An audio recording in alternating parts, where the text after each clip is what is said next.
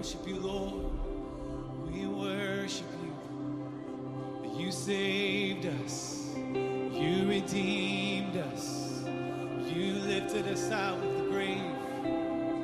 We praise you, Lord, for all you've done. Even this morning, if you don't know what to say, just say, Thank you, Lord. Thank you for what you've done.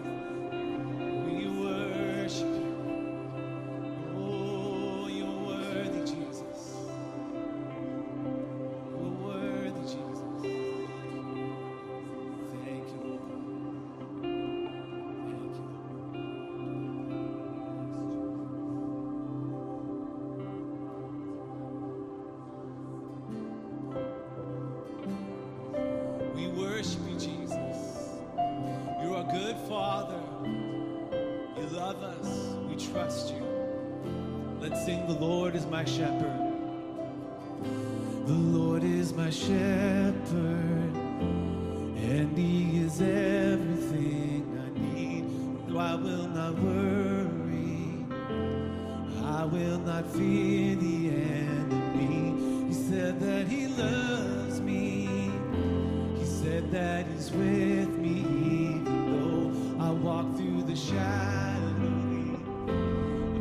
shadow and death, and still I know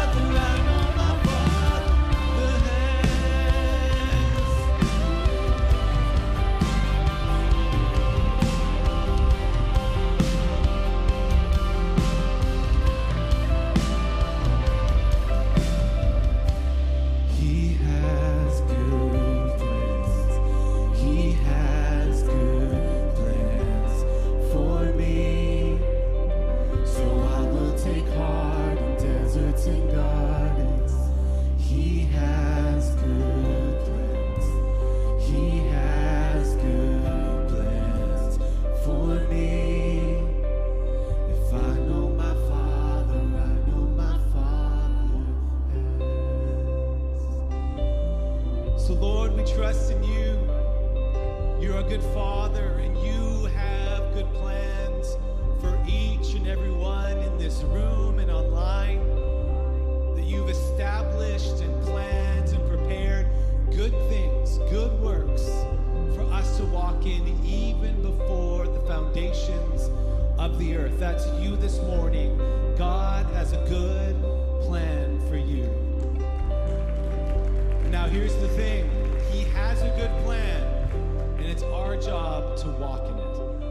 to trust Him, to obey Him.